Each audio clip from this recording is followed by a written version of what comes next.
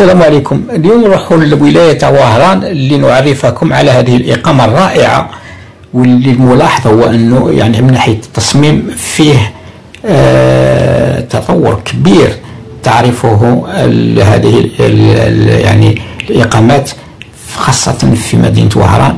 واليوم نعرفكم هذه الإقامة الرائعة التي تقع في آه الشارع ميلينيوم ما يسمى بالشارع ميلينيوم.